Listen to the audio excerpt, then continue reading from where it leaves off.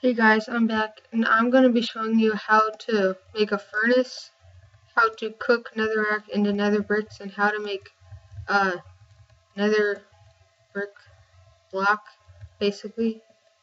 So first, to make a furnace, you need cobblestone, 8 cobblestone, around like that, kind of like a chest. Okay. Now, you're also going to need coal, And you cook the netherrack by putting it in the furnace. And I'll come back to you when it's done cooking. Okay, I'm back. And I've got a bunch of nether brick.